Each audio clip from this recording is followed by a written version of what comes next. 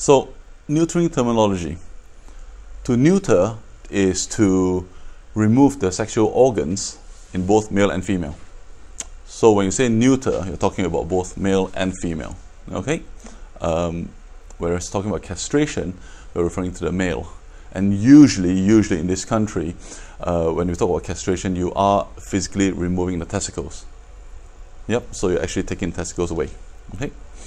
Um, cryptorchid is another little term that we have for dogs with only one testicle. Okay, so crypt means hidden. Orchid is um, testicle, so it's like a hidden testicle, so to speak. Okay, so in very, very rare uh, occasions, you get things like monorchid, whereby there's only actually one testicle.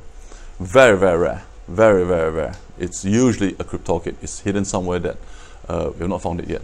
So very rare. And very, very rare is you get polyorchid, more than two testicles. Also very, very rare. Okay, so usually if you just see one that's descended, because in males, in dogs, uh, in that species, the testicles are descended, so they're out of the body. And usually, usually you see that at sort of um, five months of age, six months of age. Sometimes they may be a little bit tighter, and you can definitely see them as well, eight, nine months of age, so to speak. Uh, so you can see them descended. And when you feel only one, usually it's a cryptorchid, which means somewhere it's hidden uh, which I'll come back to that in a bit. But yeah, just to have a little term. So when says, somebody says about cryptorchid, they're talking about just one testicle. The other one is hidden, hence the word crypt. Okay. Vasectomy. Okay, so this is we hear that in human terms. Okay, so um, going for the snip, so to speak. Okay, what they do over there is they tie back that the tube that passes the sperm from the testicle to the penis to the outside world. So they just tie that tube back, so they actually don't castrate the animal. The testicles are still there, they still produce the sexual organs, uh, it's just the tubes are tied back. Very, very uncommon in dogs in UK as well. Okay, the more sort of a common uh, application or rather uh, relevation to this is in ferrets, where, where they do vas vasectomies. Spay, okay, now we move on to the females. Okay, so when we say we spay, we are always referring to the female dog. So you don't spay a male dog. You neuter a male dog, you castrate a male dog, but you spay a female dog. Does it make sense? You can neuter both male and female, but you castrate male, spay female. Yeah? So there's, it's quite contentious of how to spell it. In UK, S-P-A-E. In America, S-P-E. Sorry, uh, S-P-E-Y. UK is S-P-A-Y. So uh, either way they pronounce the same. Then you have two different sort of uh, terminology over there. One is uh, ovariohysterectomy and ovarectomy. Ovariohysterectomy or OVH for short, it's uh, when you're removing the ovaries and the uterus. Okay, whereas ovarectomy is just removing the ovaries, leaving the uterus in situ. And there is uh, different sort of uh, applications for that as well, which we'll explain a little bit further on before I move on, any questions about terminology at this moment in time? And um, I forgot to mention, one reason why we took your emails is because we'll be sending you all the notes. So whatever is shown over here will be sent to you, so don't worry about writing things down. But feel free to write things that's not on the slide. Yeah. Let's talk about cats. Cat castration. Okay, so pros. No more kittens. Stop spraying. Stop territorial marking stop wandering, decrease chance of road traffic accidents. Okay, uh, before I go further, let's talk about this. So, what we have found is that studies have shown 77% of road traffic accidents that result in a fatality, they are usually two years old, younger, unneutered. Okay, so with a huge statistic like this, you can almost say that, okay, it's been run over, it's dead, okay, it's probably not castrated. It's that sort of thing. Okay, because what happens is that they feel the need to roam. They want to roam, they're more adventurous and you know and, and that is why they are more prone to get into such accidents. And that is that's why to a certain extent how we can warn the owners or no we can warn, we can inform the owners to say that look, if you want to reduce your chance of your dog your, your cat getting run over, get it castrated, literally. It's not being harsh, it's actually true because that is a statistics. Yep, so that's that. Uh, no more kittens. Obviously, we do not want any more unwanted uh, kittens out there. We love cats, but not unwanted ones that need caring. As animal distress, we'll tell you more about it. stop spraying because they love to mark their territory. Their cats, their male. So if you don't get them castrated, um, most a lot of owners they have talked about spraying either in the house on the furniture. If they get something new, they get a new potted plant, then they start spraying as well because that is just their natural behavior of marking territory. And certainly castrated cats have much much less incidence of doing that. It is uh, it's very very rare that uh, I see customers telling me that what to do if my cat stop from spraying when it's been castrated already. Okay, um, and we just discuss about stop wandering, so they, they don't go as far. They don't feel the need to travel as far to gain their territory like lions in Africa, so to speak. All right. The cons, okay, the, the downside of castration, no more kittens. So just a reminder, castration is taking away the testicles. Okay, it's not something that is reversible. It's a one-way ticket. So it's not something like okay, get it castrated at one year old or you know five months of age, then six years old, I said, actually, you are quite a good cat. I like to sire kittens from you. Uh, one way ticket. it doesn't really work that way. All right, so uh, no more kittens. And uh, certainly, there's a general anesthetic risk, um, as all anesthetics do, because um, I believe in UK, while I'm studying anyway, we do them under general anesthetic right now. I don't think they did it in the past, but there we go. So there's an there, there's a general anesthetic risk. Like, there was a welly good thing I keep hearing that people talk about. I was like, how true is that? I have no idea.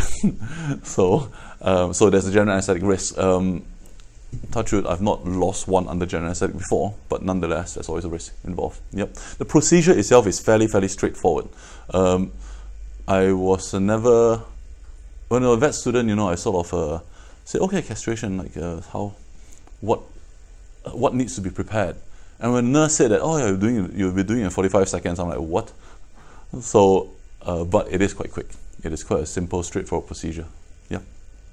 So I'm not too concerned with procedure. It's usually the anesthetic risk itself.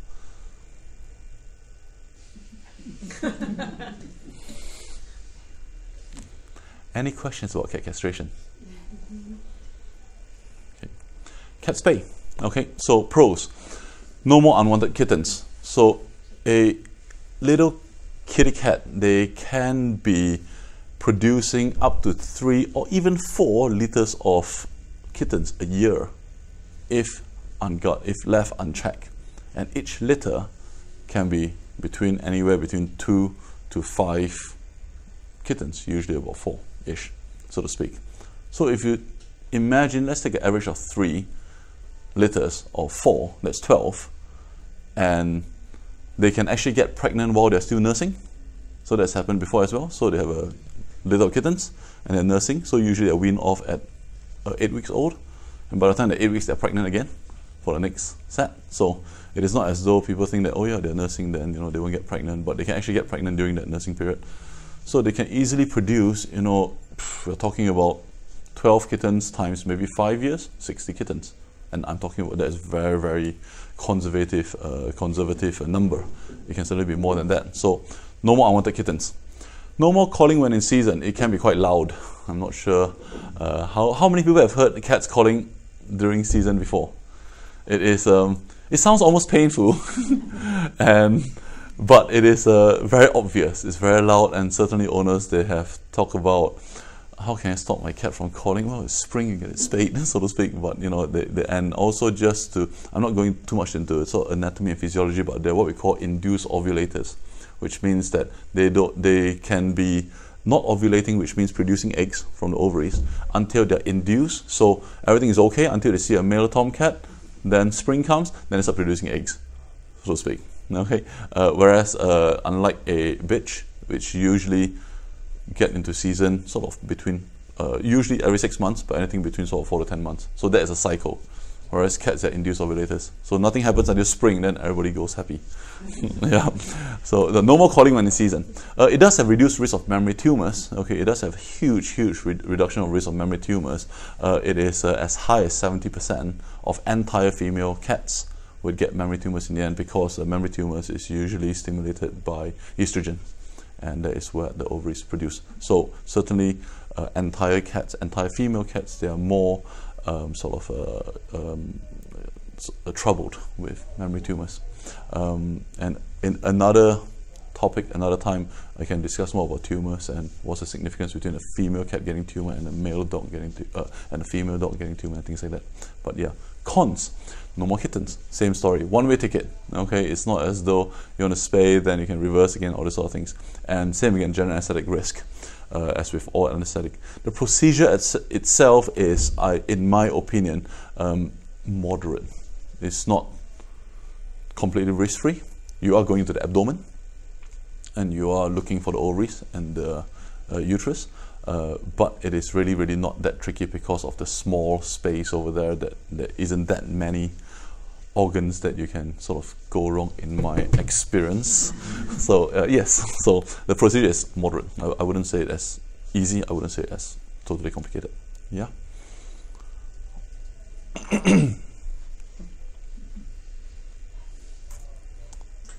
when you know it's time to spay your kitten, when they're using scratching posts in all sorts of different ways. Okay, so the question when to do it. Okay, so this is a very good question, and usually there isn't a lot of contention with the answer of this. Um, most people say as soon as possible. I know in Utrecht University and most universities in America they do it when they're three months old. Certainly, cats protection in this country do it at three months old, just because it is better getting off neutered than to go somewhere not neutered than get more kittens again.